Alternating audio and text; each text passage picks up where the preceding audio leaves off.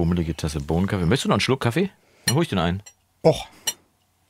Habe ich, hab ich so schnell getrunken? Nö, du hast ja auch Milch drin gehabt, der war ja kühler als bei mir. Ah, du hast ja Funk, ne? Ja, dann nehme ich noch Ich hab Funk. Ich, bin- ich hab den Funky Funk. Ich kann dir noch ein Käffchen holen. Dann laufe ich mal kurz die fünf Meter. DAW-Versteher. Dein Podcast im Recording-Blog. Mit Björn und Jonas. Foo Fighters nie viel gehört.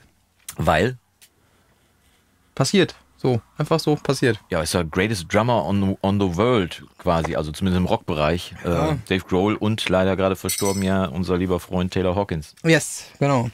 Aber das, so, kennst du das nicht? So manche Bands oder Künstler gehen einfach an dir vorbei. Ja, ich kann dir ja sagen, welche. Die steht direkt hinter dir, da oben. Deep Purple. Die Purple. Das Album Machine Head ist um Jahre an mir vorbeigegangen, weil da nämlich Smoke on the Water drauf ist. Ja, Und ich hasse Smoke on the Water. weil weil du das so oft gespielt hast. Ja, und, so, und ein, also jedes Fe- Zeltfest hat mindestens zweimal der DJ Smoke on the Water und dann unzählige Bands, die sich daran vergriffen haben, die es nicht gut gespielt haben. Und dann bist du irgendwann müde, kannst es nicht mehr hören. Es ist halt auf diesem Album drauf. Aber auf dem Album ist halt auch äh, Highway Star. Ja, da hatten wir es ja letztes Mal schon. Und ich bin so infiziert und das ist auch eben Jahre an mir vorbeigegangen, bis ich dann halt letztendlich, äh, könnte ich dir gleich mal kurz zeigen, die Doku äh, dann von denen gesehen habe. Und dann war ich komplett infiziert und habe gedacht, was eine geile Band irgendwie. Wirklich. Also Deep Purple, Hör zu. großartige Musiker, fantastische Musik gespielt, wirklich auch fünf Friends in dem Moment, also damals zumindest fünf Freunde irgendwie. Richie Blackmore ist ja dann ein bisschen individueller unterwegs gewesen, irgendwie, aber hat ja auch nie schlechte Musik gemacht. Äh, Richie Blackmores äh, Rainbow hieß die Band ja danach. Ach so. Äh, Ach, das ist der. genau, der ist das. Ah. Und, ähm, und heutzutage spielt ja Steve Morse bei denen. Sagt dir wahrscheinlich auch nichts. Ich bin Mega Gitarrist. Wie du weißt, so Name-Bashing ist immer bei mir so schwer. irgendwie. Ja, ja, also die, äh, Steve, Steve Moss spielt jetzt aktuell bei denen, mega Gitarrist irgendwie, kann clean spielen, kann verzerrt spielen, kann solo, kann schnell, kann langsam, kann alles irgendwie. Weiß jeder, dass der Gott ist. Und vor ihm hatten sie so ein, so ein kleines Leck, die hatten ein Loch irgendwie während der Tour und brauchten einen Ersatzgitarristen und haben dann mal kurz bei Joe Satriani angerufen. Oh, ja. Und der hat gesagt, äh, der wurde von seinem Manager angerufen und der Manager sagte, äh, die Purple, die brauchen hier einen Ersatzgitarristen. Kannst du mal kurz einspringen? Haha, verarschen kann ich mich selber. Bub, aufgelegt. so eine Nacht drüber geschlafen. Verdammt, wenn der das ernst gemeint hat. Nochmal angerufen. Steht das Angebot noch? Ja klar, die brauchen dich dringend. Du fliegst morgen nach Japan. Oder war sogar gerade in Japan irgendwie. Ich habe das schon gebucht für dich. Mhm. und dann dahin. Und dann hat er tatsächlich den, den Japan-Teil der Tour äh, für die Purple gespielt. Und danach haben sie sich dann Steve Morse gekrallt, äh, gefragt und, äh, oder, ja, ich glaube, äh, genau, Steve Morse haben sie sich danach gekrallt und der ist seitdem in der Band. Der war da das Kid, weil die waren ja alle schon länger dabei als er. Und ähm, ja, ist seitdem bei Deep Purple und eine fantastische Geschichte wirklich, wo, wo du in dieser Doku über Deep Purple dann auch siehst, so ein Making-of über das letzte Album oder das vorletzte Album, dann wirklich siehst, wo dann auch die Geschichte von denen erzählt wird und wo dann auch klar wird irgendwie, dass das halt über die Jahre sicherlich alle ihre Egos hatten und so weiter, aber dass das jetzt einfach fünf ältere Herren sind, die verdammt gut Musik machen können und das halt sehr gerne zusammen machen Ja. in der Familie. Und da, da stehst du dann wirklich vor und wenn die so nach, nach Jahren dann da noch stehen und mit Tränen in den Augen erzählen, das ist nicht gefaked irgendwie, das glaube ich, dass es nicht gefaked ist, mit Tränen in den Augen erzählen, wie John Lord, der, der äh, Hammond-Spieler, wie der gestorben ist einfach auch und wie, wie herzlich das Verhältnis mit dem war und so weiter, dann denkst du schon, mein Herz, ich kann das nicht so gut haben irgendwie. Aber äh, ja, deswegen bin ich jetzt mit Deep Purple gerade aktuell Sehr sehr, infiziert. Äh, jahrelang an mir vorbeigegangen, aber äh, ich glaube, wir machen mal eine kurze Geschichte lang oder umgekehrt. Ich äh, sage einfach mal guten Tag, nachdem wir diese lange Vorgeschichte hier gehabt haben. Eigentlich wollte unsere- ich da heute die Begrüßung machen. okay, dann fang du an. Weil, Ich hab nichts äh, gesagt. Herzlich willkommen, nämlich heute aus äh, Studio A von Re des Recording Blogs. Sonst sind wir immer in Studio B, also Ja, bei genau. mir, beim äh, im Story Mastering Studio. Heute sind wir hier im unfassbaren Studio A, Recording Blog Münster City. Beim äh, lieben Jonas zu Gast und äh, deswegen äh, darf ich heute die Anmoderation machen. Das habe ich mir überlegt. Ja, ist doch eine gute Idee. Wann fängst du damit an? Ach so, äh, wir hatten auch schon Quarkbällchen. Ja, Quark, welche? Wir haben eine bummelige Tasse Kaffee und ich erzähle gleich, warum Und ich tatsächlich auch äh, Bohnenkaffee. Ja, warum ich gerade aus Berlin gekommen bin, aber nicht ohne vorher meinen werten Gast zu begrüßen, den lieben Björn Schlüter, der mich heute hier in Münster-Wolbeck im Junior-Studio begrüßt. Junior. So heißt es nämlich, ich erkläre dir gleich warum. Äh, die goldenen Ohren von Wolbeck, äh, die fantastische Frisur aus der Parkstraße, hier ist er, der einmalige. aus Holtwig, nicht von Wolbeck. Aus Holtwig. Holtwig bist du doch, oder nicht? Habe ich Wolbeck gesagt? Wolbeck. Ich meinte aber Holtwig natürlich. Also Björn Schlüter, vielen Dank, dass du gekommen bist heute mal zu mir ins Ich freue mich, dass ich äh, tatsächlich hier bin. Also ich hatte ja gerade eine, eine Studio- und Hausbegehung. Ja, die Leute wissen das vielleicht noch gar nicht, weil die uns oft zusammen wahrnehmen, aber du bist heute das erste Mal in meinem Studio. Tatsächlich. Ich bin, äh, also selbst deine, deine Frau war ganz überrascht, Ja. äh, dass ich noch nicht hier war bisher. Und ich muss sagen, also sehr, sehr schön. Ein sehr, sehr schönes Studio. Ja, meine Eine- kleine Rumpelbude hier. Genau, eine Kreativhöhle Ja. sozusagen. Mit aber ganz, ganz viel toller Technik, äh, irgendwie tolle Sachen, äh, tolle Instrumente, ganz viel Platten, äh, irgendwie Cover, Poster. Das finde ich total cool. Das gefällt mir richtig gut. Höhle, das trifft es, glaube ich, am Ja, besten irgendwie. Kreativhöhle. Und ich muss zugeben, ich war ein kleines bisschen aufgeregt, weil äh, wenn die goldenen Ohren von Holtwig kommen und sich hier an meinen Sweetspot setzen äh, und wenn es dir nicht gefallen hätte, hätte ich gedacht, hätte ich schon wieder anfangen müssen zu denken, äh, verdammt nochmal. Aber du hast, äh, du hast zumindest schon mal äh, nicht äh, verzerrt die Augen verdreht. Irgendwie, Nee, ganz im Gegenteil. Ganz im Gegenteil. Ich meine, die, die Lautsprecher kenne ich ja gut. Mhm, genau. Ähm, die habe ich ja auch gehabt. Die KH Und, 310 äh, von Neumann, genau. Genau, und der, der Subwoofer, das ist mir, das ist mir alles geläufig irgendwie. Und ähm, du sitzt ja auch relativ nah dran. Ja, äh, tatsächlich, Setup, genau. ne? Ja, es sind 1,10 Meter sind es genau. Genau, und das macht Da aber, äh, macht aber auch total Sinn, finde ich, so in dem Setup, auch so hier in dem Raum. Ähm, und echt top, also schöner, klarer, direkter äh, Sound irgendwie, so wie ich das auch von den, von den äh, Boxen her kenne. Also ich habe ja auch, weißt du ja, ich habe ja nie gesagt, ich äh, kaufe mir jetzt Amphions, weil die, weil die K310 schlechte Monitore sind oder so, ne? Ganz im Ja. Gegenteil.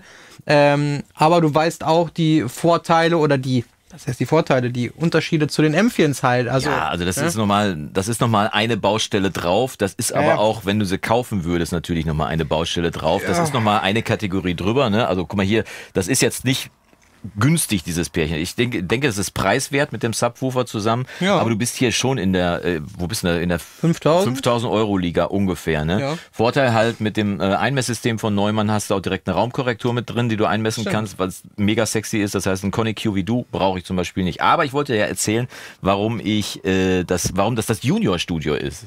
Ich habe mich vor vielen Jahren habe ich mich bei der GEMA angemeldet Oh, und hatte da gesagt, ja, wie heißen Sie denn?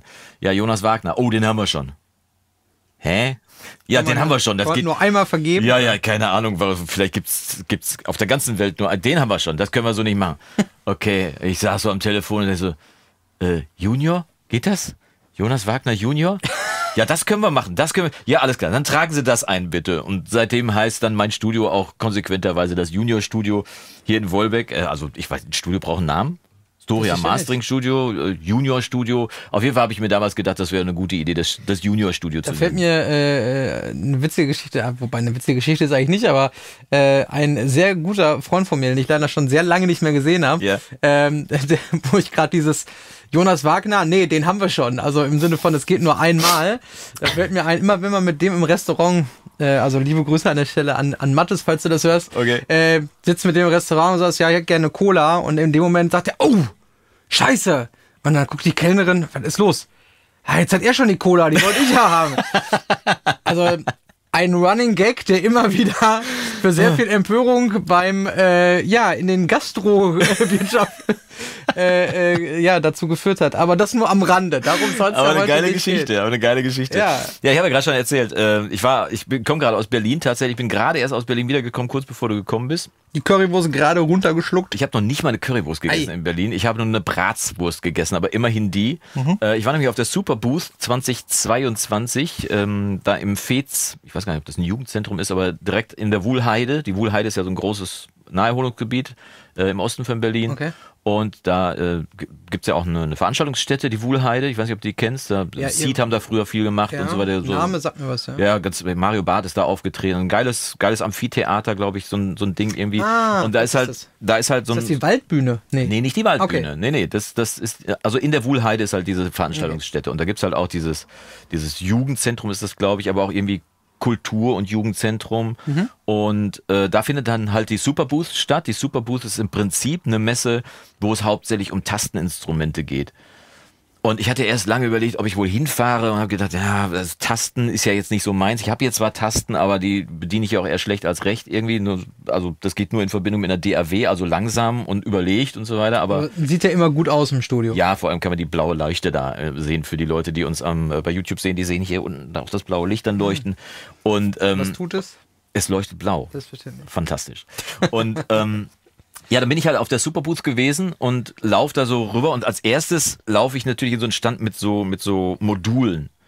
Das, die- diese, es gibt ja diese, diese Synthesizer, diese Analog-Synthesizer, so, ja, die du so ja, aus ja. Einzelmodulen Modular, zusammen, äh, Modular-Synthesizer, genau. Und da kannst du dich ja doof und dusselig kaufen. Ne? Also wenn es Leute gibt, die sich mit 500er Modulen, also Preamps, Kompressoren etc. pp. und so weiter, die glauben, dass man da viel Geld versenken kann, äh, die sind komplett auf dem Holzweg, weil ähm, so ein, so ein 500er Rahmen, der hat ja in der Spitze, wenn da einen, ich glaube von Heritage gibt's einen mit 12 Einschüben, so, ne? also maximal auf, auf 3 HE irgendwie 19 Zoll.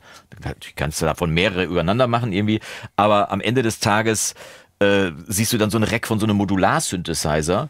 Die sind, ja, die sind so groß wie dieser Raum. Ja, ja, genau. Das, und da hast du Platz für eine Milliarde Module und es gibt auch eine Milliarde verschiedene Module und nicht nur das. Es gab im Keller von der Superbooth gab es noch eine DIY-Werkstatt, wo du mit Lötkolben und Mhm. Ja. Teilen dir das Zeug selbst löten konntest. Und ich dachte schon, oh Gott, ich bin jetzt in Nerd City irgendwie. Also für alle, die damit jetzt gar nichts anfangen können, empfehle ich mal ähm, bei Instagram mal dem ähm, Hannes Bieger heißt da. Okay. Äh, das ist so ein äh, Künstler aus. Äh, Das ist ein Redakteur auch, glaube ich. ja, ja, der- macht äh, ja, auch, genau. glaube ich, für Sound and Recording Ja, oder genau, so. ja, ja. Ähm, der macht super viel, ist auch Mixing Engineer. Der hat auch einen wunderschönen Manutech Equalizer. Ah, ein schlauer Äh, Mensch. ein schlauer Mensch, genau. Einfach mal bei Instagram schauen. Hannes Bieger heißt der gute Mann und der hat auch so eine, ja, andere nennen das dann Schlafzimmer und er hat halt äh, so ein äh, Modular-Synthesizer, Wandraum, ja, irgendwas. Und wie gesagt, ähm, ich habe äh, da auch den, ähm, den äh, Ingo vom Producer Network getroffen und der sagte, ich bin gerade geheilt.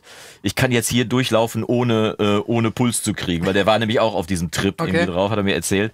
Und ähm, und da kann man sich halt doof und dusselig kaufen bei diesem. Und deswegen dachte ich eigentlich, wäre verkehrt und habe dann aber trotzdem vor Ort eine ganze Menge nette Menschen getroffen, tatsächlich. Und das war eigentlich auch der Grund, weswegen ich da war. Ich war gar nicht so wegen, unbedingt wegen der Messe da, unter anderem vielleicht auch, äh, weil ähm, die Kollegen von äh, Adam Audio mich eingeladen, eingeladen hatten, weil wir haben da ein paar Boxen angehört, die neue A-Serie. Kann ich gleich vielleicht noch was zu erzählen.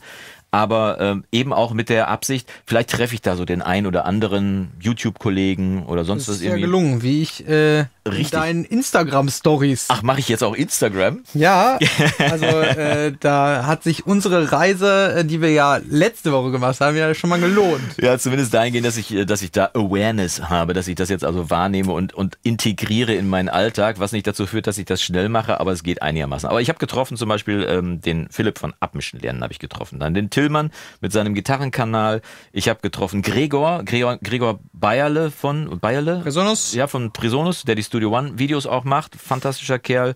Und Unmengen anderer Leute irgendwie.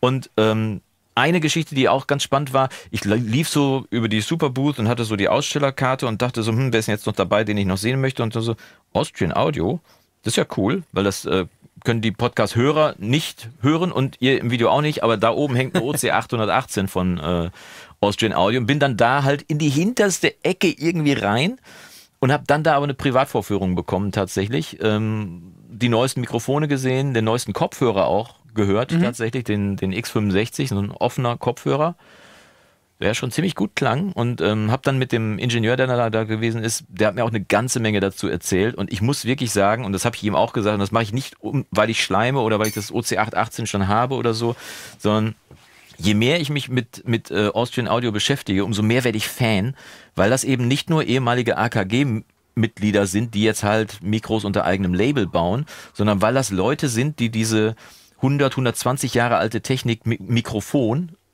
einfach neu denken. Also die nicht einfach, das, ich will das gar nicht despektierlich sagen, die nicht einfach nur ein weiteres Mikrofon bauen, Auf das keiner gewartet hat. Genau. ja, so, ne? Und es gibt ja auch nahezu keine schlechten Mikrofone mehr heutzutage, sondern die die Idee weiterdenken einfach. Und da war jetzt zum Beispiel dieses dynamische Mikrofon, was sie hatten, das OD5 heißt das, glaube ich. Hat er mir dann erklärt, OD heißt Open Dynamic, das ist also ein dynamisches Mikrofon. Handheld quasi? Handheld-Mikrofon. Ne? Okay. Es ist aber zum Beispiel ein aktives dynamisches Mikrofon. Mit anderen Worten, die haben den Cloud-Lifter quasi schon eingebaut, braucht auch Phantomspeisung. Dadurch hast du irgendwie bis zu 8 dB mehr Output als bei einem SM57 meinetwegen so.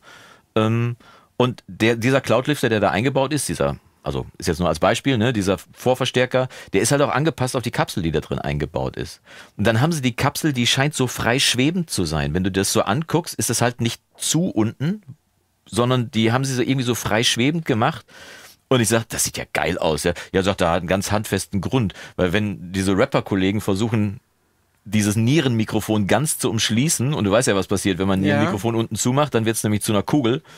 Ähm, das geht nicht. Du kannst, also da brauchst du schon Pranken wie, wie Scheißausdeckel, würde man fast sagen, um da irgendwie drum rum zu. Das Mikro ist immer irgendwo offen. Ja. Und er sagte, du kriegst es halt nicht zu. Und deswegen bleibt das Niere, egal ob der Rapper drum packt oder nicht. Und da freut sich halt der, der Toningenieur. Und dann hat er den Deckel abge... Ich bin totaler Fan geworden. Dann hat er den Deckel abgeschraubt und hat mir gezeigt, wie sie die Kapsel gestaltet haben. Und die Kapsel sieht im Prinzip aus, wie die Kapsel von einem dynamischen Mikrofon halt aussieht.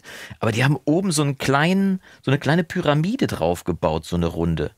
Das heißt, wenn da Plosivlaute draufkommen, wenn da Luftdruck draufkommt, dann wird der vor dem Mikro, genau, wird der vor dem Mikro nochmal ges gesprengt irgendwie. Ja, ja. Und dadurch haben die halt eben nicht nur den Schaumstoff drin, sondern da drin nochmal so eine kleine Wie so ein kleiner Diffusor, ja? dass da noch keiner drauf gekommen ist irgendwie. Das wird einfach vorher noch mal ein bisschen und er sagt, natürlich ist das, kannst du da auch Poplaute drin haben irgendwie. Wenn es drauf anlegst. Richtig, genau. Aber er sagte halt eben eben nicht so wie, wie normalerweise, ne? Aber mit diesem Formverstärker im Mikrofon, Ja.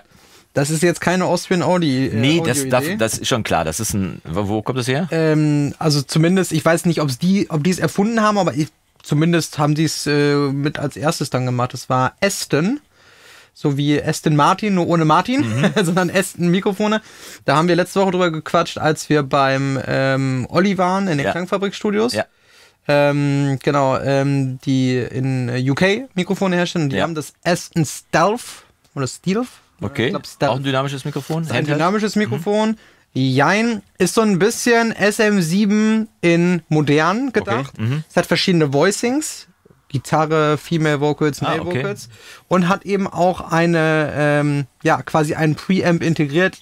Wie du schon sagtest, so Cloud-Lifter-mäßig. Also du hast halt einen Gain-Boost, einen sauberen Gain-Boost, Ja. damit du mit mehr äh, Pegel dann in dein Preamp oder in dein Interface reingehst. Und nicht nur das hat mir der Ingenieur nämlich auch erklärt. Er sagte, dadurch, dass wir aktiv sind an der Stelle, ist der Kabelweg egal.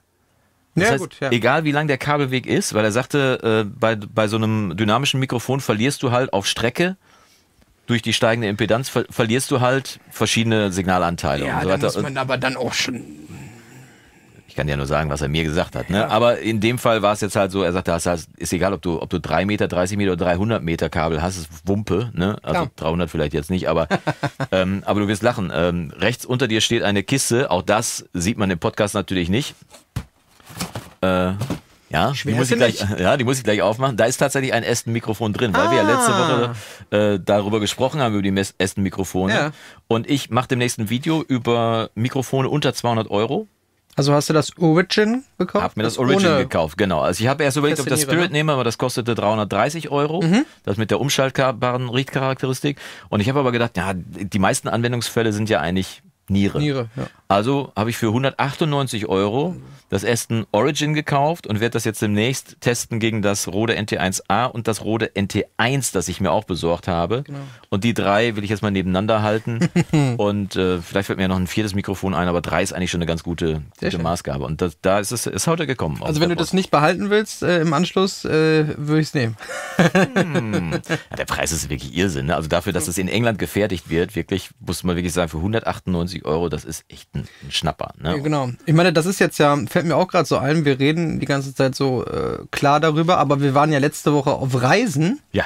Das weiß ja eigentlich noch gar keiner. Ach stimmt. Wo man- Also außer wir- die Instagram-Story. Gucker. Also, wenn du, lieber Zuhörer, nichts verpassen möchtest, dann solltest du mir vielleicht oder mir und vor allem auch dem Björn bei Instagram folgen. Bei mir, at recordingblog und bei dir, Add Story Mastering. bam. So, da folgst du uns und da kriegst du dann auch mit, was zwischen den Videos passiert. Und ja, diese Reise, diese Deutschlandreise, ich habe übrigens schon neue Kontakte gemacht, wo wir als nächstes hinreisen können. Perfekt. Tatsächlich auf der Superbooth. Das heißt, unsere nächste Reise wird voraussichtlich nach Hamburg gehen. Hamburg meine Perle. Ja, genau. Und vielleicht können wir da auch mal lecker essen gehen. Du kennst ja das ein oder andere, hast ja hier Ja, schon im äh, Podcast genau. berichtet. Ja, ne? ja, da hast du ja noch eine Rechnung mit offen. Da äh, bin ich noch ein bisschen sauer, dass ich da letztes Mal nicht äh, am Essen teilnehmen durfte. Das holen wir dann da in dem Fall nach. Und unsere nächste Reise geht tatsächlich ähm, Schön. nach Hamburg, weil ich habe äh, unter anderem war ein lustiger Fan-Moment. Ich bin auf der Veranstaltung von Adam Audio, stehe da so rum und mir läuft die ganze Zeit so ein junger Kerl über den Weg, der mich so anguckt. Und ich bin so Gesichtslegastheniker. Ich kann mir Gesichter und Namen nicht merken und habe die ganze Zeit überlegt, der hat dich jetzt schon zum dritten Mal angeguckt. Müsstest du den kennen? Verdammt nochmal, keine Ahnung. Und irgendwann kam er mit seinem Kumpel um die Ecke, können wir ein Foto machen? Und ich so, okay, alles klar, er kennt mich auf jeden Fall aus dem Internet. Und dann haben wir, haben wir geplaudert, Niklas heißt er, und äh, habe ich auch bei, bei äh, Insta dann gefolgt. Findest du also als lieber Instagram-Follower bei mir auch dann den Kontakt zu ihm. Das heißt, glaube ich, Shark Studio in Hamburg. Und der, der hat, ist eigentlich Metal Guy, also der kommt vom Metal, vom harten Rock irgendwie und hat aber ein Studio in Hamburg, wo er auch einen großen Aufnahmeraum dabei hat. Da wird er uns dann wahrscheinlich dann in Hamburg auch erzählen können, wie er da rangekommen ist. Und der Raum ist halt auch geeignet für Big Band, jetzt nicht so große Big Band, wie wir sie letzte Woche im, in den äh, Klangfabrik-Studios gesehen haben, aber so 20 People. Und dann ist er über eine Produktion auch daran gekommen macht jetzt halt Jazz und Big Band. Und er scheint sich bei einer Jazzaufnahme mit einer äh, oder bei einer etwas größeren Jazzband nicht so blöd angestellt zu haben beim Mix, dass er jetzt halt auch regelmäßig, obwohl er eigentlich Metal Guy ist, für Recording und Mixing Sessions für, für Jazz und Big Band angefragt wird in Hamburg, was natürlich mega ist. Und da freue ich mich schon sehr drauf, wenn wir den Niklas besuchen werden. Sehr schön. Und da war sein Kumpel ähm, Kirby noch dabei, der heißt ja nicht Corbinian. Äh, Metal Drummer, der wird dann bestimmt auch da sein.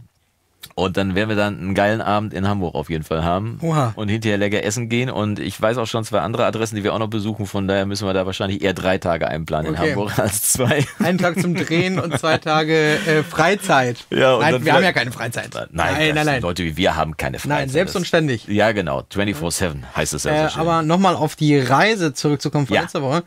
Ähm, da ist ja am Donnerstag ist das, das Video rausgekommen mit dem Olli, ne? 30 genau. Minuten mit. Die 30 Minuten mit Äh, Olli Wiesmann. Total, äh, also schaut euch das auf jeden Fall an, wenn ihr es Ja. nicht gemacht habt. Äh, total Frau, meine Frau sagte nur, Typ. da habt ihr aber ein nices Interview gemacht. Ein nices. Ein nices Interview. Ja, das ist ja nicer, Ja. nicer, genau. Gut, dass meine Tochter nicht da war. Die hätte bei dieser Ausdrucksweise direkt wieder die Augen verdreht. Dass Oh, Mama. Mutti, Mutti einen auf Hipster macht irgendwie. Der, von der muss ich mich als Boomer beschimpfen lassen. Oh, Bin ich gar nicht. Ich bin von 71. Die Babyboomer waren vorher, Das aber stimmt. anscheinend scheint es wohl dazu zu gehören. Ja, auf jeden Fall. Ich meine, der Olli ist natürlich, ein, also an der Stelle auch liebe Grüße, äh, falls du das hörst. Absolut. Äh, war total spannend auf jeden Fall in den Klangfabrik-Shows. Da wird ja dann auch noch mehr kommen, wenn ich das schon so sagen darf. Ja, Ich hab's jetzt ich ja dir- schon gesagt. Erzähl ich dir gleich auch noch eine kurze Geschichte Oha. zu, aber ja, äh, esse mal weiter. Boah, ich bin, ich bin gespannt. Irgendwas, irgendwas hat technisch anscheinend nicht funktioniert. Nein, natürlich nicht. Sehr gut. Also wir fahren nochmal nach Riedstadt. Nein, nein, nein, das hat alles funktioniert. nee, äh, genau. Und äh, sehr, sehr äh, ja, krasse Räume, die die natürlich am Start hatten. Ne? Absolut krass. Ähm, Von Markus Bertram übrigens gestaltet. Genau, MB-Akustik, Genau, richtig. der hier Grüße. meine Rückwand auch gemacht hat und mein Studio ein bisschen ausgemessen hat. Wir haben nicht viel hier gemacht, aber er hat meine Rückwand, hat er mir empfohlen und äh, wir haben hier eine gute Der Zeit gleiche gehabt. Farbton, den ich, glaube ich, bei mir auch im Studio glaube ich, die habe. gleichen Dinger sogar. Wahnsinn. Ja, Deswegen klingt das so gut, ja. na muss ja. Ne? Ja, kein Wunder. Was für dich gut genug ist, ist für mich gerade recht und billig. Aber das war fantastisch. Ja, genau. Möchtest du mir den Backen stopfen oder was? Ja, aber das war schon fantastisch. Und ich habe tatsächlich ähm, die Aufnahmen gesichtet hier, die ich, äh, die wir gemacht haben. Mhm. Du hast mit der GoPro gefilmt, ich bin mit der, mit der, äh, mit der spiegellosen Spiegelreflex durch die Gegend gelaufen, die uns jetzt hier gerade auch aufnimmt für Ah. YouTube. Und äh, was natürlich passiert, natürlich das, was passieren muss, es war unser kompletter, nahezu unser kompletter Gang durchs Studio ist unscharf gewesen. Hm. Ich wollte ursprünglich eine, eine schnubbelige Videokamera mitnehmen, also so eine echte Videokamera von Canon habe ich so eine, eine etwas ältere, Mhm. die macht, was sie soll. Die machst du an, drückst auf Aufnahme, ist immer scharf. Weißt du, wie so eine Fernsehkamera. Fernsehkameras sind auch, also klar hast du jemanden, der die bedient, ne? aber die sind halt immer gut. Aber äh, dann äh, sagte irgendjemand, das wäre Oldstyle. Und habe ich gedacht, na gut, ich, also soll ich mit dem Handy machen? Handy war mir zu doof irgendwie, also habe ich halt die, die spiegellose Spiegelreflex genommen, die ist DSLR, so ist der Fachbegriff dafür. Und die hat halt drei Viertel unseres Gangs durchs Studio war unscharf. Also habe ich deine Aufnahme verwendet von der, von der Oh. GoPro. Und ich habe mir so viel Mühe gegeben. Ja, ja, ich hab's aber, ich konnte es zumindest so zusammencutten, dass es so einigermaßen gut ist. Deswegen, äh, aber einige Schnittbilder waren gut gewesen. Ich habe ich hab's noch beim Machen noch gedacht, irgendwie, ob du die Schärfe kontrolliert hast oder nicht. Und das kannst du nicht auf diesem kleinen Display so richtig irgendwie. Und das war dann halt das Ergebnis, dass halt die Schärfe, zumindest im Klangfabrikstudio, nicht ganz so gut gewesen ist. Deswegen gibt's ein bisschen weniger Schnittbilder in unserem nächsten Video, was wir, wir haben noch ein weiteres äh, Gespräch mit Olli aufgezeichnet. Genau. Und da gibt's dann aber schöne, schöne Schnittbilder nochmal zwischendurch vom Da Bier, bin die ich dann auch nicht habe. nur als Huster mit dabei. Nein, genau. ja, für die Aufmerksamen war es auf jeden Fall wahrnehmbar. Wobei, ich glaube, deinen Huster habe ich, glaube ich, sogar, sogar rausgeschnitten. Ja, genau. Ich habe es äh, gar nicht so weit äh, bisher geschafft zu schauen, das Video. Verstehst du, aber hier Werbung dafür machen, ne? Ich meine ja nur, ihr sollt euch Du das warst ja dabei. Fall anschauen. Außerdem war ich aber genau, ich war ja dabei, ich Du habe ja es alles überwacht. Du warst ja, das, äh, das war tatsächlich das erste Mal, dass ich seit neun Jahren einen Recording-Engineer dabei hatte. Selbstverständlich. Und deswegen hat es auch funktioniert mit der Aufnahme, weil bei mir geht nämlich normalerweise immer was schief. Bei mir war auch alles scharf. ja, pissscharf Äh, sogar. also der Ton Mhm. scharf äh, ist auf jeden Fall gelaufen. Nee, und ähm, dann sind wir ja einen Tag später, sind wir dann noch weitergefahren, also noch weiter südlich. Riedstadt ist ja so, ja, Kurz hinter Einzugsgebiet Frankfurt. ne? Ja, genau. ne? Ja.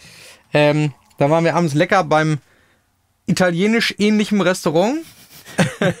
In Riedstadt meinst du? In Riedstadt, Ja, ja. Und genau. am nächsten Tag haben wir dann auch lecker Genau. gegessen, aber beim Markus von Monkey Banana. Genau, Im Garten. beim Monkey Banana. Ja, Total crazy eigentlich, ne? ja, ne? Äh, also muss ich wirklich sagen, ich war doch sehr beeindruckt auch. Ähm, da wird ja dann auch noch auf dem Kanal was passieren. Kommt ein schönes Video noch, genau. Genau, ähm, aber wir können ja schon mal verraten, das Lager äh, haben wir, glaube ich, beide nicht gedacht, dass es tatsächlich dann solche Dimensionen hat. Und das war ja nur eine Hälfte, die wir uns angeschaut haben. Ja, und, äh, und den einen Speaker, den Silverback, den wir uns da angeguckt haben, der die wir war zu ja zweit getragen haben. 40 Kilo kostet, äh, wiegt einer. Ja. 40 Kilo, davon brauchst du zwei irgendwie. Ein beeindruckendes Teil und ich hoffe, dass wir den nochmal bei dir im Studio hören können. Ja. Tatsächlich. Beste, beste Geschichte bei Markus Ja. fand ich übrigens, äh, äh, dass der Lackierer äh, ihm die äh, seine Lautsprecher nicht in diesem Giftgrün lackieren Genau. wollte, weil die kauft ja keiner. Weil die kauft ja keiner. Und das ist dann seine bestlaufende genau, Farbe. besser als schwarz. Wie? So, so viel zum Thema Hör auf alle anderen, die wissen das besser. Ja, definitiv nicht, ey. Lackierer für Studiotechnik Ja, anscheinend. ist, ja, aber das Grün ist schon, ist schon absolute Geschmackssache. crazy, total crazy. Aber auch bei Markus haben wir einen, einen fantastischen Lautsprecher gehört für, für seine Preiskategorie. Aber da sprechen wir Der dann. Baboon oder so? Ja, Irgendwie genau, so da sprechen wir aber Richtung, dann in dem Gespräch drüber. Deswegen Genau. lohnt sich dran zu bleiben und auch dieses Video zu gucken, auf ne? jeden War auf Fall. jeden Fall eine spannende Geschichte. Wir wurden ja dann auch noch fantastisch bekocht, muss oh, man sagen. und mit Wein versorgt, das war lecker. Genau, mit, Ja. äh, mit Wein, mit, mit äh, Trauben aus Griechenland oder wie war das? Oder nee, nee nicht aus Griechenland, aber eine griechische Traubenart hatte er extra, Ja. Äh, weil er wusste, dass du so ein Griechenland-Fan bist, ne? Ja, kann ich ja nun mal nichts für, ne? Aber ich, ich versuche gerade Adjektive zu finden für unseren Trip irgendwie. Und es ist also eine im Prinzip eine akustische äh, wie Kulinarisch. kulinarische Traumreise durch Deutschland gewesen. Durch, Wobei man muss ja. sagen, äh, zwei Sachen noch, zu, vor allem so kulinarisch. Ja. Der Jonas hat zum ersten Mal aus einem Dutch-Ofen, Ich wusste ja noch nicht mal, was das ist. genau, also es ist kein... Äh, Vielleicht erklärst du mal, was ein Dutch Ein Oven Dutch-Ofen ist. ist ein gusseiserner Topf im Ja. Prinzip, wo man eigentlich, ich sag mal ganz lapidar gesagt, da schmeißt du alles Mögliche rein oder brätst es an, Ja. Machst Flüssigkeit rein, irgendwie, keine Ahnung, in dem Fall war es, was hat er drin gehabt, äh, Weißwein, äh, dann war ja auch noch Metaxa drin. Ja, eingelegtes Fleisch hat er noch reingetan. Ähm, Ja, genau, ich ne? meine jetzt an Jede Flüssigkeit. Menge Gemüse äh, und Eiweiß, Kartoffeln hat er Zwiebeln. reingetan. Mhm, genau. Und dann machst du einen Deckel zu und dann wartest du, keine Ahnung, anderthalb, zwei, drei, vier Stunden. und weißt du noch, wie ich es genannt habe? Nee. Nachdem ich es verstanden habe? Ein Mittelalter-Thermomix. Ah, ja, Alles stimmt. rein, kochen lassen, fertig. Warten. genau, also das war ja natürlich ein Highlight, dass du mal äh, aus Und es war extrem lecker. Es war wirklich extrem Es lecker. war wirklich sehr Also nächstes Mal in Holtwig äh, geht's bei mir auf dem Balkon ähm, und dann äh, gibt's auch wieder irgendwie was Oh, da freue ich mich schon drauf. Und an dieser Stelle auch einen lieben Gruß an Markus. Auf jeden Fall vielen Dank nochmal für deine Gastfreundschaft. Das war Absolut. ganz, ganz, ganz, ganz großartig. Ja. Aber weißt du, was wir, das ist mir nachher erst wieder eingefallen, Mhm. als wir dann, als ich dann so morgens um drei, halb vier im Bett lag, als wir ja, nachts weil wir den auch zurückgefahren, genau. Ähm, lag ich im Bett und habe gedacht, wir haben jetzt drei Tage über eine Bockwurst von der Tankstelle gesprochen. Und haben keine gegessen. und haben keine gegessen. Dafür waren wir aber in einer Schokoladenmanufaktur. Aus Versehen. Ja, auch das konnte man bei Instagram sehen. Deswegen es lohnt sich wirklich, uns nachzulaufen. Irgendwie. Unglaublich. Ja. Also, was wir erlebt haben. ja, und das sind drei Tagen. Ne? Verrückt auf jeden Fall. Naja, und, und das steht uns dann halt demnächst in Hamburg auch bevor. Ja, klingt gut. Und wir müssen natürlich den Andi vom Vineyard Studio, auch Grüße an dieser Stelle, noch besuchen. Herr In- Regensburg. In Regensburg, genau, äh, in seinem Studio. Und da werden wir sicherlich auch noch das ein oder andere Studio im Umkreis finden. Das heißt, unsere Deutschlandreisen gehen auf jeden Fall weiter. Genau. Und da freue ich mich wirklich schon drauf, dass wir da durch die Gegend jetten, weil auf der Rückreise, das darf ich auch verraten, haben wir, haben wir ja Lieblingsmusik-Battle gemacht. Das, Das heißt, wir haben uns gegenseitig sehr schön. heiße Musik zugeschossen und äh, ich konnte dich überraschen, du konntest mich überraschen Ja. und wir haben die Rückreise quasi wie im Fluge erlebt, mehr oder weniger. Was war dein Highlight bei der Rückfahrt äh, an den Songs? Oh, boah, das ist jetzt schwierig. Also tatsächlich. Ähm, wie hieß denn nochmal diese ähm, Ska-Geschichte, äh, die du mir gezeigt hast? Äh, The Selector war das, glaube ich, oder nee, die Specials war Äh, die das. Specials, genau, Ja, richtig. Ähm, was ich irgendwie äh, kannte, aber seit, äh, Wie hieß der Song Rudy? Äh, ja, gute ja, Frage. ja, ich glaube Rudy. Oder Trudy, Rudy? Ja, Zuletzt gehört vor, weiß ich nicht, 15 Jahren oder so. vor 20 ewig, Jahren. genau, ja. Ich kannte den Song, A Message to, to Rudy, genau, so heißt der Song. kann ja. sein. Also ich kannte den Song, Ja. ich hätte dir aber nicht sagen können, wie er heißt. Das Ja. ist so ein typischer Song, der bei uns damals irgendwie so in der, äh, ich komme ja so aus dieser etwas alternativeren Musikszene. Angepunkten äh, angepunkten Szene. Ähm, das lief bei uns auch rauf und runter, aber ich hätte dir wirklich nicht sagen können, von wem das ist. Das war so mein, äh, äh, also es hat mich sehr gefreut, das mal wieder zu hören und ich Ja. hätte halt, ich hätte es mir in den nächsten 100 Jahren vermutlich auch wieder nicht angehört, weil ich Siehst dran du, dann gedacht musste der alte Mann das rauskramen hier. Aber äh, Konnte ich dich denn auch überraschen? ich überlege gerade, äh, du hast, also für, für meinen Geschmack hast du schon fast zu mainstreamig agiert. Oh. Aber äh, es war nichts dabei, wo ich, wo ich gedacht hatte, oh Gott, äh, also es war jetzt nicht Modern Talking dabei oder sonst was irgendwie, sondern Ich glaube nicht. äh, nee, da war tatsächlich jetzt nichts, was mich mega geflasht hätte oder was mich überrascht hätte oder so. Das liegt aber vielleicht daran, dass ich mit dem Zeug ja auch irgendwie, keine Ahnung, ins Bett gegangen bin. Ich habe so viel Musik gehört. Aber Wumpe irgendwie. Aber das war eine sehr angenehme Rückreise, die wir da auf jeden Fall hatten, weil es hat wirklich Spaß gemacht, sich gegenseitig einfach mal Dinge zuzuwerfen und, und zu sagen, hier, das ist Musik, die, die gefällt mir auf jeden Fall. Und Musik hören ist ja auch, ist so so ein, so ein Ding. Ich bin neulich wieder gefragt worden, weil ich war ja bei, bei, bei Adam Audio da diese Boxen anhören. Ähm, da komme ich vielleicht jetzt mal gerade zu. Die haben also diese A-Serie neu aufgelegt. Und jetzt waren das nicht alles Boxen, die mich komplett abgeholt haben. Mag auch daran liegen, dass ich nicht bei allen Boxen im Sweet Spot sitzen konnte und so, wo sie die eingemessen haben. Aber ein Feature, was mich dann schon beeindruckt hat, war, dass die, dass du quasi deinen Raum einmessen kannst mit Sonarworks. Und dann kannst du das Profil, was du an dem Sweet Spot hast, kannst du quasi rüberspielen in die Box und hast quasi die Raumkorrektur eingebaut. Im Prinzip Ah, okay. so ein bisschen wie mein System hier auch. Das ist ja der, der Subwoofer Ja. hat ja ein DSP, DSP, drin ja. und der rechnet hier eine Raumkorrektur rein, die ich vorher ausgemessen habe mit dem, wie heißt das System von Neumann K M- A- MA1, MA1 oder sowas irgendwie Ja, oder M. also. Und äh, das haben die halt auch dann da integriert, was zum Beispiel bedeutet für die kleinen A4 irgendwas heißen die. Mhm. Vier Zöller dann. Ja, vier Zöller und dann aber diesen, diesen Hochtöner, diesen Seidenhochtöner, diesen Mhm. speziellen, die die da haben bei Adam.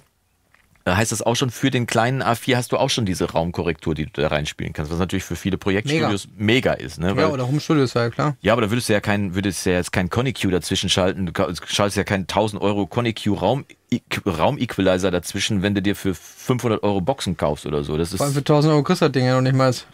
Wenn du Glück hast, gebraucht irgendwo, Ja, okay, dann hast du aber die ja. Software-Lizenz noch nicht Ich dabei. Ne? sagen, ja. Und ähm, das fand ich schon sehr beeindruckend.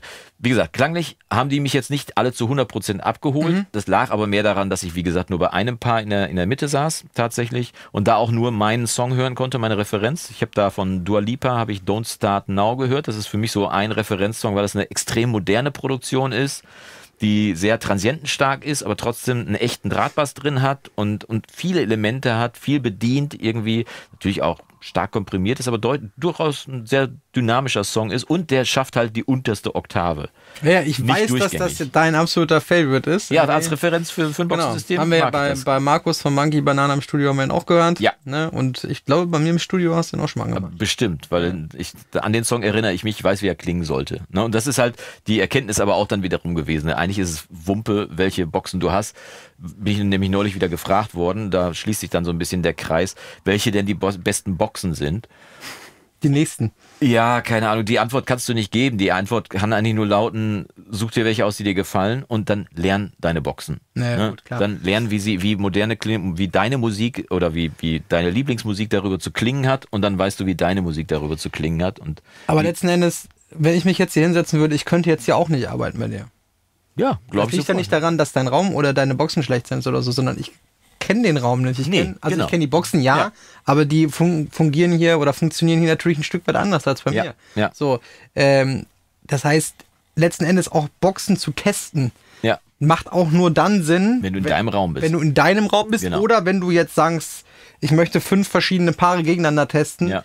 dann aber alle zumindest im gleichen Raum anhören. Ne? wenn du jetzt irgendwo in einem großen einschlägigen Musikhaus bist, ähm, dann äh, testest du halt da, aber dann in einem Raum und nicht irgendwie an fünf verschiedenen Ja, Orten. ich habe mal gelesen, dass, dass äh, Pros, die in verschiedenen Studios arbeiten, dass die in der Regel einen Stick dabei haben, wo die unkomprimiert ihre fünf Referenzsongs drauf haben. Hm. Und dann schließen die sich im Studio erstmal eine halbe Stunde, eine Stunde ein und sagen so, dann weiß ich grob, wie der Raum funktioniert, weil ich weiß, Ja. wie die Songs zu Oder ich erinnere mich an unseren Live-Mischer. Also ähm, ich mag Babylon Sister oder Babylon Sister von Steely Dan nicht, nicht, weil es ein schlechter Song ist, sondern weil der einfach immer, wenn ich zur Bühne gekommen bin, gelaufen ist, weil unser Mischer hat damit die Anlage eingerauscht. Der wusste, wie der Song zu klingen hat. Das heißt, jeden Abend lief Babylon Sister. Ich mache das mit No Sanctuary hier. No Sanctuary klingt nach Beyoncé oder sowas. irgendwie. Nee, nee, nee. Ich komme gerade tatsächlich gar nicht auf den, äh, auf den Artist.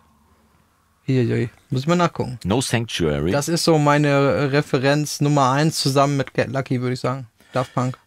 Ja, Get Lucky haben wir gestern auch gehört, Mhm. oder Daft Punk haben wir gestern gehört, was, was Mega-Produktion außer Frage. Ich glaube, wir haben äh, äh, Moroder, Giorgio Moroder, der Song heißt Giorgio, glaube ich, auf dem Album. Ist, sein. ist ein Song, der ist auch, also die klingen ja alle relativ ähnlich, irgendwie, aber Get Lucky ist natürlich äh, der, der Favorit an der Stelle. Was mir bei Get Lucky halt fehlt, ist, der ist halt, der klingt wie für, wie für Platte produziert, also für LP, weil der halt eben nicht so tief runter geht. Was? Get Lucky? Äh, Für meinen Geschmack geht er nicht tief runter. Get Lucky geht total tief runter. Dann gucken wir gleich nochmal auf meinem Pinguin hier, was da geht. Guck mal rein, Get Lucky geht extrem tief Echt? runter. Der Bass geht sehr Okay, dann kann runter. meine Anlage das vielleicht nicht. Und äh, das ist genau der Punkt, warum ich Get Lucky äh, äh, als Referenz gerne nutze, auch für Ah. mich, weil die, da ist eine sehr abwechslungsreiche und komplexe Basslinie Ja, drin. absolut. Ähm, und ähm, ich für meinen Teil oder für, für meinen Geschmack und auch für mein Gehör, wenn ich den Song irgendwo höre und ich kann der Basslinie wirklich folgen. Natürlich ist nicht jeder Ton gleich Mhm. ja nicht, laut, ja. aber wenn ich jeden Ton wahrnehmen kann, auch die kleinen, ja fast schon so Ghost Notes Mhm. wahrnehmen kann im Bassbereich, dann äh, bin ich mir zumindest sicher, dass im Bassbereich grundsätzlich erstmal irgendwie alles ganz, Ja. ganz sauber ist. Natürlich nur Ich grundsätzlich. daraufhin dann gleich nochmal anhören hier. Den, Genau. Ja. Ähm, also das ist für mich, deswegen höre ich den. Also ich höre den nicht, ich finde den teilweise sogar auch ein bisschen harsh an einigen Stellen. Das ist dann so Geschmackssache. Mhm. Ja. Ähm, irgendwie äh, die Hi-Hats oder dann teilweise auch ähm, diese, diese, wenn diese Vocoder-Stimme da reinkommt Mhm. und so. Äh, es ist Geschmackssache. Äh, Das ist für mich tatsächlich ganz, ganz viel ähm, generell Transienten, Schnelligkeit, Ja, äh, ja. Äh, äh, also dynamische Wiedergabe Ja. so ähm, und, und vor allem eben Bass. Also da weiß ich, okay, wenn aus diesem, aus diesem Bass-Riff irgendwie ein Ton völlig rausdröhnt oder so oder Problem, eben. Mhm. äh, äh, nicht hörbar ist, dann ist auf jeden Fall schon mal im Bassbereich irgendwas nicht Ja, ganz sauber. okay, alles klar. Dann, äh, also ich habe tatsächlich, das, das liegt dann vielleicht auch in meiner Anlage, dass sie das nicht kann oder so auch immer. Werden wir gleich checken. ähm, dass ich den Eindruck immer hatte, dass der Song, dass das, dass dieses Album eher für Platte produziert ist, weil es eben nicht so tief runtergeht wie der Dua Lipa Song. Es kann aber auch sein, dass in der Produktion von Dua Lipa einfach deutlich mehr Bass reingeschoben wurde. Ja, da ist vielleicht nicht so viel Energie ne? jetzt bei 30 Hertz wie bei Dua Lipa oder 40, aber ja, genau. ähm, aber das kontrollieren wir gleich mal. Deswegen, äh, aber ich habe tatsächlich den Song auch mit in der Liste. ja. Ne, also das ist äh, Get Lucky ist dabei, weil der halt auch das, was du sagst, die Transienten bietet. Die Produktion mag ich einfach, weil die auch relativ nah an dem ist, was ich gerne mache. Weil das ist, ist, ein, ist ein Drum, es ist ein Bass, ist eine, eine funky Gitarre. Ich mag den Gesang, ich mag, da ist viel drin, was mir auch persönlich in meiner Musik gefällt. Deswegen ist das alleine deswegen schon eine gute Siehst du, Referenz. beeindruckend finde, da sind so viele kleine mh, Unebenheiten drin in dieser Produktion. Wenn man mal genau hinhört. Menschlichkeiten meinst du? Genau. Mhm. Also wenn man mal genau hinhört, da sind Schmatzer drin in der Produktion, also wirklich Mundgeräusche Okay, drin. Ähm, teilweise die Chöre sind super geil, sind super authentisch, Ja. aber teilweise auch nicht so ganz perfekt äh, übereinander. Also nicht so, nicht jetzt, dass man da kein Blatt mehr zwischen machen könnte. Waren die da loose oder ist das ist das Ich glaube, das ist einfach so ein bisschen so, äh, das ist so die Performance einfach. So. Ich mein, also da geht es nicht um Perfektion. Gitarre hat ja Nile Rodgers gespielt, ne? einer meiner Favoriten Gitarristen von Chick damals. der auch Freak Out geschrieben hat und, und äh, für, für Sister Sledge gemacht hat, äh, gearbeitet hat. Sister Sledge, die bei denen Background-Sängerinnen waren, bevor sie Sister Sledge wurden. Okay. So, ne, und dann wurden die halt erfolgreicher als Chick.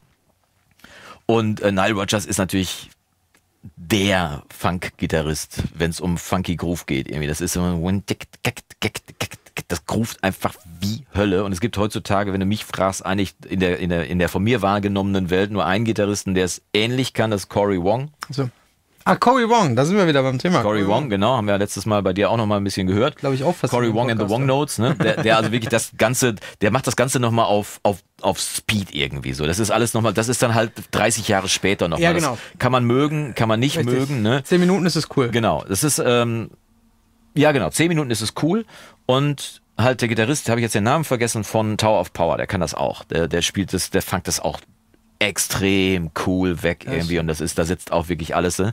Und Nile Rogers, ganz witzige Geschichte, hat viele Sachen direkt ins Pult gespielt, also direkt ins SSL. Kabel aus der Gitarre raus, in die SSL Gain. rein, Gain und ab dafür. Ein Kompressor noch drauf und dann lass gehen Kapelle. Und diese funky Sounds, da ist kein Amp dabei. Also hier werden zum Beispiel Verstärker rechts neben uns steht mein, mein Fender Twin Reverb, der also ein perfekter Amp dafür zum Beispiel wäre, um so einen Sound aufzunehmen. Nee, Nile Rogers hat das Kabel direkt ins Pult reingesteckt, keine Gefangenen gemacht und ab dafür. Wo du gerade sagtest, Tower of Power, weißt du noch, letzte Woche auf der Rückfahrt äh, aus äh, von, wie hieß denn mal der Ort? Emmel, Emmelding? Nee. ja, irgendwie so, keine Bei Ahnung. Karlsruhe. Ja, ja. Badener Land, wie wir dann gelernt Ja, haben. genau. Ne? Äh, genau. Ähm, auf der Rückfahrt hast du mich gefragt, äh, dass das Konzert, irgendwie das krasseste Konzert, auf dem ich war. Das war, habe ich dir doch erzählt, Tower of Power im BB King Club Genau. in, äh, in New York. Genau, hast du erzählt. Äh, äh, Worum ich dich übrigens sehr beneide. Ja, wo du gerade Tower of Power saßt, unglaublich, wie die Jungs sich da auf einer, keine Ahnung, gefühlt fünfmal drei Meter großen Bühne oder so, oder, oder viermal drei Meter großen Bühne. Und wie groß ist zusammen- die Band? 10, 12 Leute? Ja, gut, vielleicht, äh, ich bin mit Maßeinheiten immer so schlecht, vielleicht war es auch sechs mal drei Meter oder so. Auf Ja, jeden Fall haben die sich da eng. drauf gequetscht. Also, die konnten auch keine Choreo oder so machen, das ging gar nicht. Ja, also, die okay. standen halt einfach da, der Bassist saß halb auf dem Schlagzeug drauf Ja. gefühlt. Unglaublich geil, einfach nur durch Zufall. Wir latschen da äh, durch die Stadt tagsüber und lesen halt Tower of Power live und dann, ja, wann ist denn das? Ja, heute. Oh, ja, fragen wir mal, ob es Karten gibt. Ja, gibt's ja eh nicht. Ja, gibt Karten. Ich hab drei. was, was ist jetzt los? Ne? geil, ähm, ne? Genau, auf, auf, äh, auf Tour, in, äh, als wir auf Tour in den USA waren mit dem Orchester, Mega. haben wir mit drei Jungs abends äh, im BB King Club gesessen, haben furchtbar, furchtbar teures Bier getrunken. Aber mega geile aber Musik gehört. Sehr, sehr gute Musik gehört. Ja. Ähm, und die haben auch echt lang gespielt, die Jungs. Also wirklich. Ja, die cool. scheinen immer noch Bock zu haben zu spielen. Tower of Power gibt's ja seit Ende der 60er, das darf man ja nicht vergessen. Das ist eine der ältesten Bands auf dem Planeten, direkt nach den Stones wahrscheinlich und The Who vielleicht noch.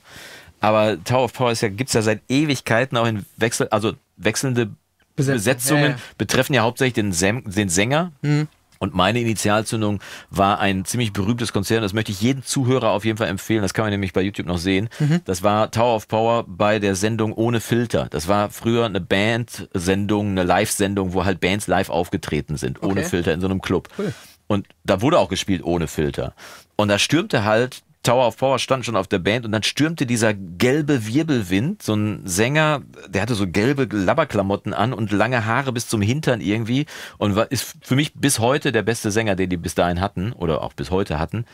Und hat ein Feuerwerk abgesprüht. Das ist unfassbar. wenn du dir das heute anguckst, wenn die, wenn die Soul with a Capital S spielen, dann ist einfach, dann ist alles erzählt. Danach gibt's keine Fragezeichen mehr und dann bist du wirklich komplett drauf. Und dieses Konzert dauert irgendwie eine Stunde oder so.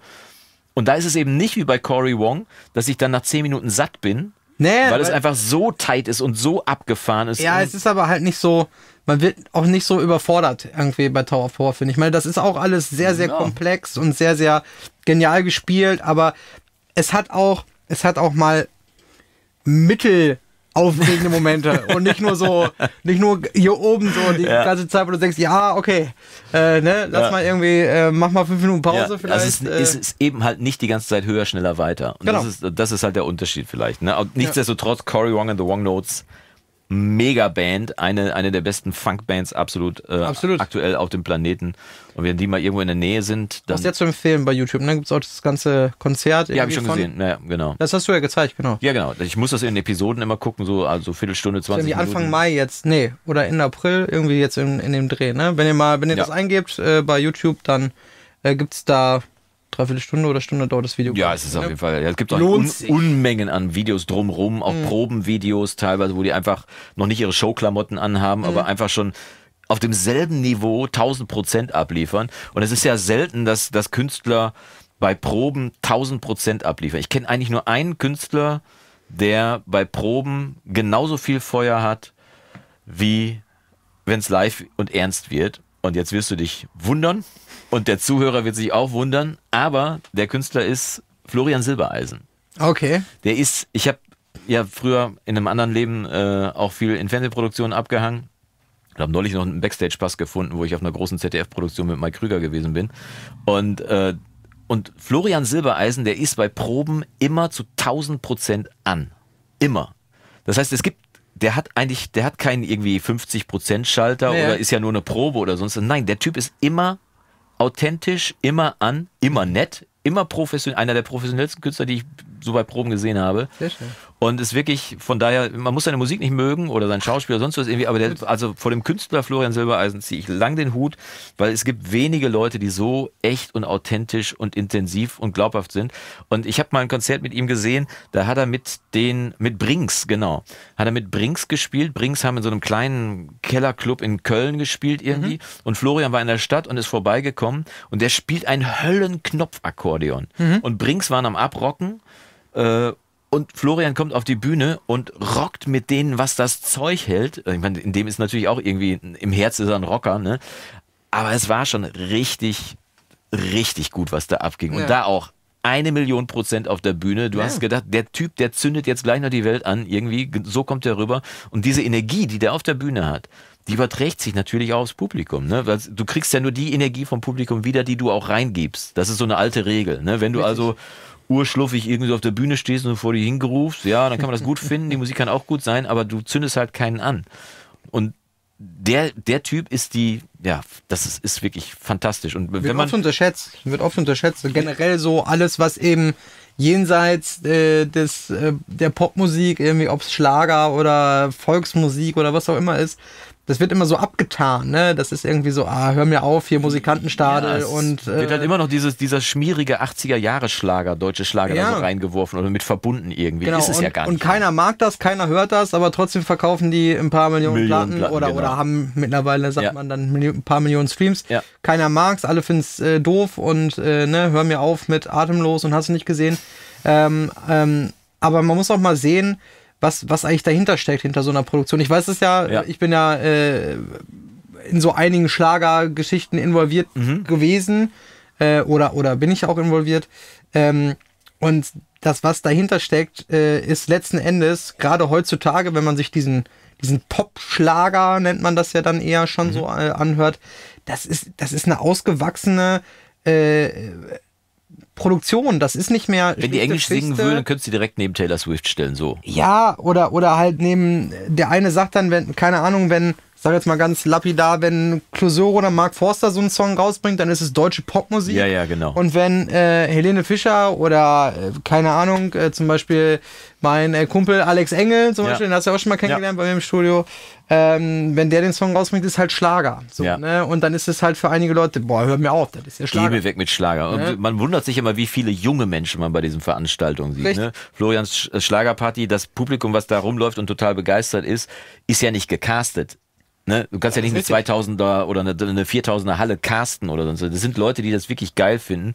Und interessanterweise aus dem Bereich ja auch die einzige Künstlerin, die bei Deutschland sucht den Superstar tatsächlich hervorgegangen Ach, ist ähm, und erfolgreich geworden ist. Beatrice Egli. So ist es. Die einzige Künstlerin, also korrigiere mich, wenn ich falsch liege, Alexander Klaas ist sicherlich ein erfolgreicher Künstler, aber auf dem Niveau von Beatrice Egli funkt keiner, der bei, bei DSDS rausgekommen ist. Ja. Und die Frau ist wirklich, und die Frau auch, ne? Die hat eine Begeisterung, eine Freude. Ich habe sie auch schon Backstage gesehen, Mhm. wie die mit ihrer Band da rumläuft und die sind auch so, so, so eine Crowd irgendwie. Und die Sehr authentische Frau. maximal Bildhübsch authentisch. natürlich auch. auch ne? das noch, ja, genau. Ähm, genau. Und halt diese Begeisterung, die trägt halt dieses Feuer, diese Begeisterung, diese Mhm. Freude, die halt auch wiederum das Publikum ansteckt. Und deswegen auch mein Tipp an alle Bands irgendwie, Leute, wenn ihr spielt, vorne ist die Musik und nicht auf dem Griffbrett, nehmt die Leute mit, zündet die an und macht eine Party. Genau. Und, Und dann kann der Ton der noch mal, Notenständer ja, und dann kann der Ton noch mal verfügbar. daneben gehen. Es ist völlig egal, weil die Energie muss stimmen.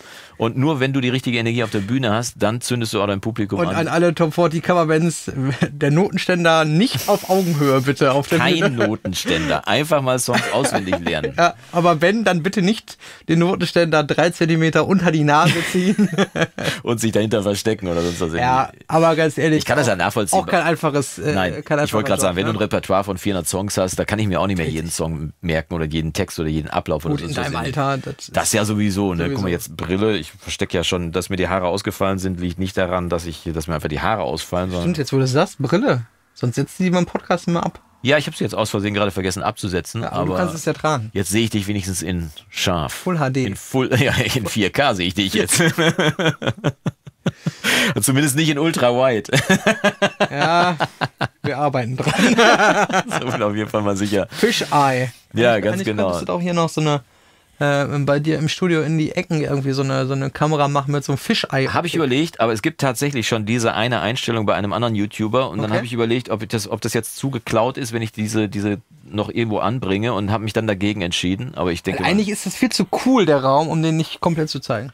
Ja, vielleicht soll ich mal eine Roomtour machen, vielleicht ist da ja Bedarf, aber da, dafür, dann ist die kürzeste Roomtour der Welt irgendwie. Das ist dann 13 Sekunden. Guck Naja, mal, aber meinen wenn Raum. du, Wupp. wenn du aber über jedes Teil, was hier steht oder hängt, sprichst, dann bist Oh, du dann aber wird's, vier, dann fünf ein Stunden langer Abend. Dann muss ich einen Livestream machen. ja. Dann gehe ich zu jedem Teil vorbei. Also allein die Besser erzählen ja schon Geschichten. Da, da vorne hinter der Kamera hängt meine allererste E-Gitarre, die äh, auch schon sehr, sehr alt ist. Eine Japan-Kopie einer Vox-Gitarre. Eiförmige Gitarre. Die ist sensationell. An der Wand, wenn man sie anguckt, zu spielen ist sie nahezu nicht. Was, ich weiß gar nicht, wie ich da drauf. Darauf habe ich meinen ersten, meinen ersten großen Erfolg gefeiert, weil ich war nämlich in der Schule der Einzige, der das Solo von Geschwisterliebe von den Ärzten spielen konnte. Und weißt du weswegen? Also A, weil ich es greifen konnte und so weiter, weil ich es mir natürlich wie damals schon, wie heute, sauber rausgehört habe, aber weil das Ding einen Jammerhaken hat, der genau diesen Sound auch macht, den man dafür dieses Solo brauchte. Den Ich hab's gerade nicht im Ohr. Geschwisterliebe? Ja, also Geschwisterliebe, aber das Solo habe ich nicht. Ring, da, da, da, ring, da, da, da, da, da, da. Didel, die, didel, die, didel, die, didel. Das Lied, man nie vergisst irgendwie. Ja. Und äh, dieser Teil, didel, die, didel, die, didel, die, didel, die, der war schwer. Einfach, also ich kann bis heute nicht das Solo von Jump spielen, weil dafür bin ich nicht fähig. Aber das war so gerade so am Rande meiner Fähigkeiten, die sich seitdem auch nicht deutlich verbessert haben. dafür spiele ich einen besseren Rhythmus. Aber das war damals, und wir es war uns Und du kochst verboten mittlerweile worden- einen besseren Kaffee. In der Tat. Aber es war uns damals verboten worden, das live zu spielen, aber wir waren ja Outlaws. Also Ärmel hochgekrempelt beim Jugendzentrum und den Song dann doch gespielt. Hey, erster Auftritt von meiner damaligen Band in der, in der Schule, Ja. auf dem Schulfest. Ja.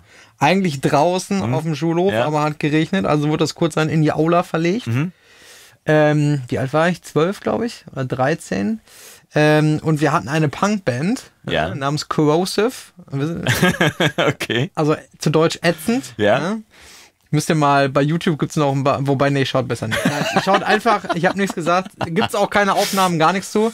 Außer, Du bist der Typ mit dem grünen Iro, ne? ähm, äh, Oder war das glaube, später? Ja, äh, da gibt's glaube ich, tatsächlich keine Aufzeichnungen zu. Jonas hat sich versprochen, er wollte sagen, mit dem, äh, mit dem Mittelscheitel und dem äh, äh, schön Anzug. gebügelten Hemd. Genau. auf jeden Fall ähm, haben wir da auch so rückwirkend, also wir haben teilweise gecovert zu dem Zeitpunkt. Mhm. Ähm, Green Day, äh, ich glaube Toten Hosen, Ja. äh, Wieso, äh, habe ich dir auch Ja, gezeigt ja, auf der genau, Fahrt, das war cool, alte, ja, alte genau, Deutschpunk-Band unten aus äh, Sindelfingen. Das war, das, äh, das ist übrig geblieben tatsächlich. Das, das war cool. Mega witzig. Meine Welt, Äh, ja. So, und, und wir hatten auch so ein paar eigene Songs und äh, wir haben halt äh, tatsächlich von Wieso damals ein Lied gespielt, ähm, was auch auf dem Index steht. Ja. Ne? Bis heute? Ähm, ja, also der, das Lied äh, darf nur ohne Gesang, also ohne Text äh, gespielt werden. Okay. Ähm, ich werde jetzt auch nicht näher drauf eingehen. Okay, alles klar. Ähm, genau. Äh, ich weiß nicht, Verjähren-Indexverstöße. Nee, das muss tatsächlich wieder neu geprüft werden. Ja. Und dann muss entschieden werden, ob das im Kontext des aktuellen Zeitgeschehens, ob Ja. das dann freigegeben werden kann oder nicht. Ja. nee, nee, ähm, nee, das wird auch heute definitiv. Das Ich glaube, äh, Geschwisterliebe und, ähm, und Claudia hatten einen Schäferhund, sind, Ja, glaube ich, genau. bis heute auch immer noch Ja. auf dem Index, ja. Genau, und das haben wir da damals gespielt und ich werde es nie vergessen, wie dann so die Lehrerschaft und natürlich auch unsere vermutlich eigentlich stolzen Eltern äh, Kurz die Augen mal kurz äh, äh, überlegt haben, was denn ihre äh, netten Söhne da auf der Bühne muss das so laut sein? War da das erste? Okay, das kann man ja argumentieren. Muss. Ja, ja, muss. Also um auf die Frage Ja. zu antworten, ja. Aber mit den Texten, das war dann doch äh, zumindest mal ein kurzer Diskussionspunkt an der Stelle. Okay. Ähm, aber ähm, unser damaliger Schulleiter hat sich dafür einge... Also es gab eine Musiklehrerin, die wollte unbedingt den Strom abstellen, damit wir äh, nicht mehr weiterspielen können. Okay. Und unser damaliger Schulleiter äh, hat sich aber dann dafür eingesetzt, nein, das bleibt, das war so ein, der war so ein bisschen äh, 68er Bewegung. Ja, großartig. Äh, der, äh, der liebe Herr, dem habe ich ganz, ganz viel auch zu verdanken. Äh, ein ganz lieber, total netter, fürsorglicher Typ. Ähm, ich glaube, einen viel besseren Schulleiter kannst du gar nicht backen, als, Ja. als der war. Ja. Der hat gesagt, nein, das ist hier äh, freie Meinungsäußerung. Gut, der wusste mit Sicherheit nicht, dass, äh, dass der Song auf dem Index steht. Aber auch so generell, der hat gesagt, nein, da stehen Leute vor der Bühne, die finden das total toll. Die Leute freuen sich, die Jugendlichen. Ähm, und äh, wir lassen das an, weil das gehört auch dazu. Äh, zu, Ja, äh, hat er auch eigentlich recht. ne? Ja, Und hat da, er tatsächlich recht. Da schlagen wir wieder den, den Kreis irgendwie ein bisschen auch, was wir gerade sagten, Schlager, was weiß ich, Florian Silbereisen.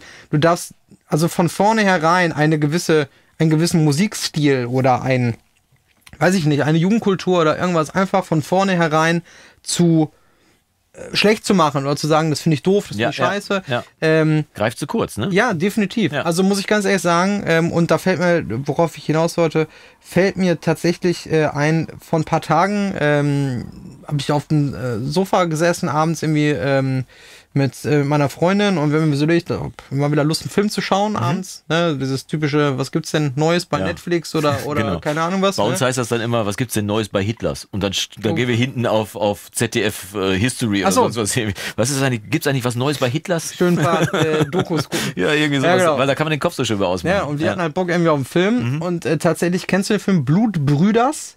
Ja, mit Sido ist das. Das ist, ein- ist ein Zeichentrickfilm mit. Nee, Ah, nee, nee, dann. Nee. das sind Bärenbrüder. Bärenbrüder. Ups. Nee, Blutbrüders mit, Mit Z, Z hinten? Nee, kenne ich tatsächlich Ähm, nicht. Nee. Ist, glaube ich, so.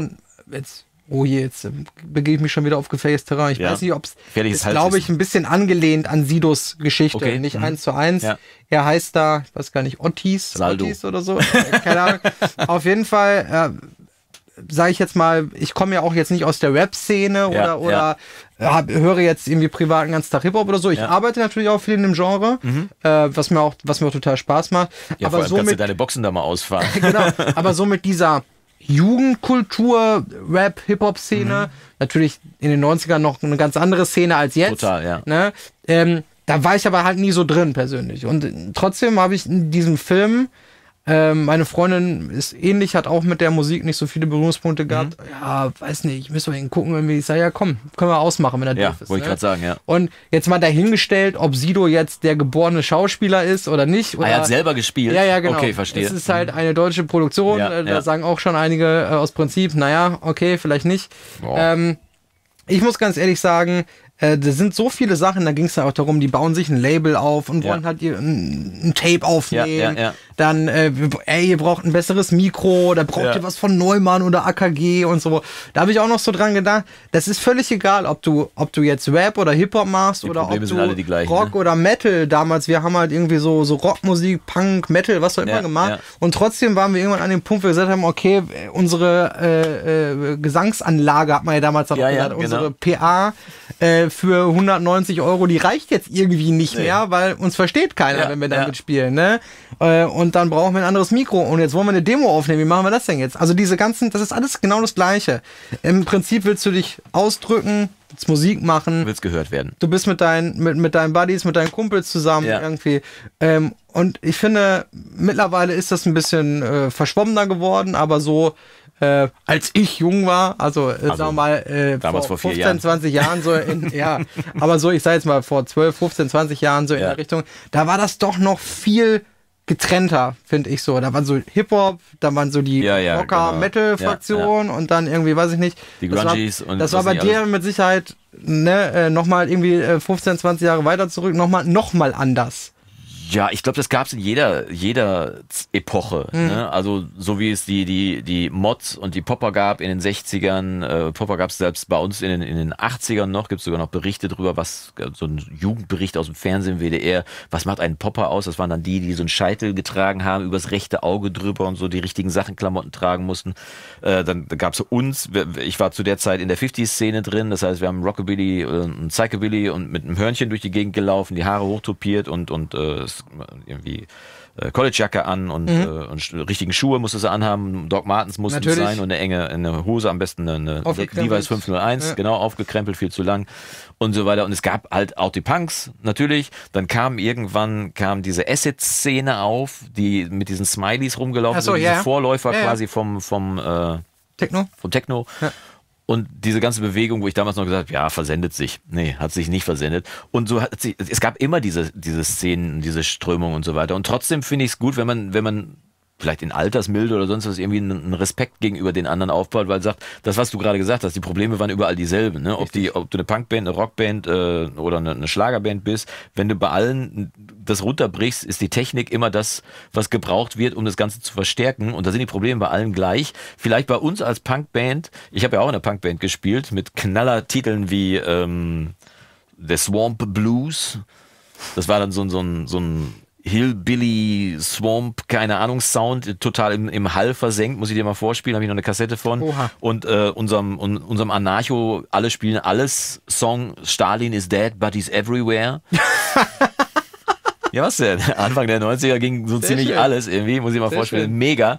Und, äh, und da ging es einfach darum, da sind wir einfach mit der Anlage nicht über die, über, über die Anlage, über die, über die Lautsprecher hinausgekommen. Das heißt, der Gesang war kaum zu verstehen. Unsere Laut, unsere äh, Verstärker, da steht noch mein Champ 12 hier rechts. Mhm. Das war mein Verstärker, mein Gitarrenverstärker damals. Der war natürlich nicht laut genug mit 12 Watt. Hier drin kann ich den kaum aufreißen. Aber natürlich im Jugendzentrum war davon nichts zu hören. Mit anderen Worten, es war ein riesen Kuddelmuddel. Aber, und da kommen wir wieder zurück, die Energie stimmte, die von der Bühne kam. ja. Und damit haben wir dann wirklich alle Leute mitgenommen im Raum und einfach eine riesen Party gefeiert. Und das war, das war schon sehr geil. Ja, so seit, äh, ich glaube, seit ähm, Linkin Park und ähm, Jay-Z war das ja, ne? Oder? Ja. War das Jay-Z? Weiß ich nicht. Oh je, was? Jetzt habe ich schon wieder, jetzt hab ich schon wieder gefällt. Die haben noch ein Album gemacht zusammen, oder nicht?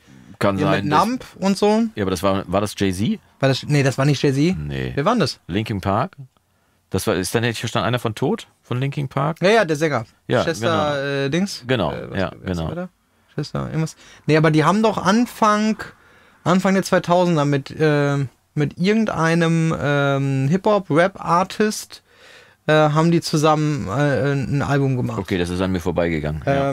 Oh je, ich weiß, wir werden wahrscheinlich ganz, ganz viele Zuhörer haben oder Zuschauer haben, die sagen, ach Leute, das ist doch klar. ja, können wir uns das Video Ähm, schreiben, damit wir das auch lernen, welches, Video, ja. welches, äh, welches Album das war. Das, das wäre gut. Ich komme gerade nicht drauf. Das war ja dann so, so der Beginn. Also mit Sicherheit gab es auch vorher schon ganz viele Crossover-Projekte, aber das war halt wirklich so, so diese, diese mh, Metal, ja, Linkin Park ist jetzt kein Metal, aber so dieses New Metal, weiß ich nicht. Ja, New, äh, ja, New Metal würde man es ja, genau. ich, ne? ja. Dann eben mit, mit, mit Hip-Hop, mit Rap Ja. gemischt.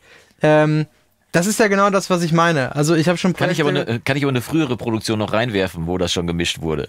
Run DMC und Aerosmith. Ah ja, stimmt, richtig. Walk This Way. richtig. Ja. Also es gab es ja immer wieder. Ich habe ja auch Ja. schon mit, mit einem Orchester, äh, mit, mit äh, Stimmt. UDO Ja, hast du ja zusammen, eine- Udo Dicksteiner, genau, ja. äh, ne, ehemaliger Sänger von Accept, habe ich schon auf dem Wacken äh, ähm, ja, performt oder wie auch immer. Warst du äh, der Dirigent oder was hast Nee, du nee, gemacht? nee, ich war, ähm, in dem Fall äh, stammten die Orchesterarrangements äh, Ja. zum großen Teil von mir. Wow. Und ich war als zweiter Mann am Mischpult sozusagen. Mega. Also so ein bisschen derjenige, der den eigentlichen Mischer, Live-Mischer, dem lieben Arne darauf hingewiesen hat, wenn im Orchester irgendwas passiert, Okay, was klar. er fahren muss, ja, also was er dann. Cues oder sonst was irgendwie. Genau, da ist jetzt irgendwie ein- ein Triangel-Soloschlag oder muss Ja. er irgendwie den Kanal so und so Ja. hochziehen oder kommt jetzt ein Oboen-Solo oder was auch immer. Ähm, das war sehr, sehr spannend. Natürlich das Projekt, also Heavy Metal meets Orchester. Warst du dann so eine Art Musical Director auch irgendwie? Ja, nee, also da gibt's ja einen Dirigenten äh, im Ja, okay. Orchester. Mhm. Ähm, das, das ist dann schon so, aber ja, so ein bisschen dieses Gesamtpaket Band und äh.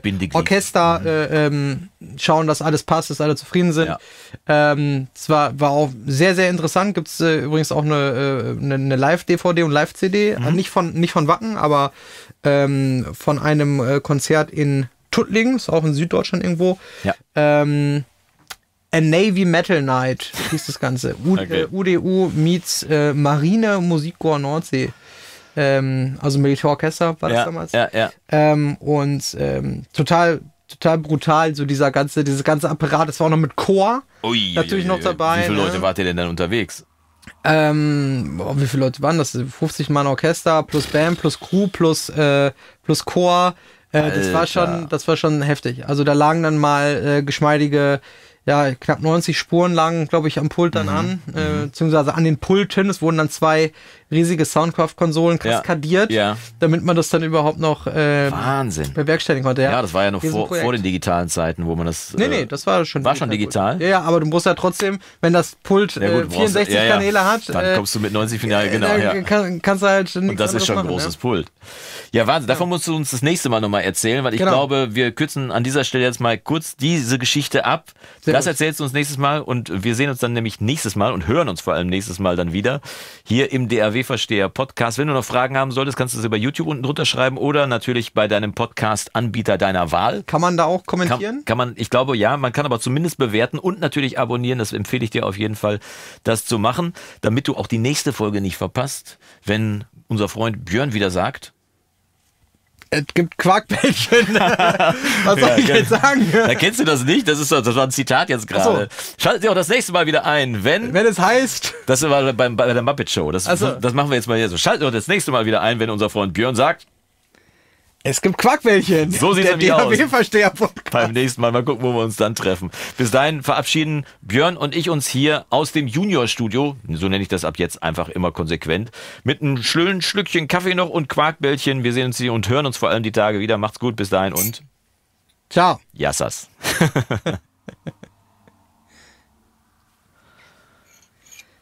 Sehr gut. I like. Ah, schön. So, 65 Minuten. Jetzt muss eigentlich nur noch die Aufnahme geklappt haben. Wie war das?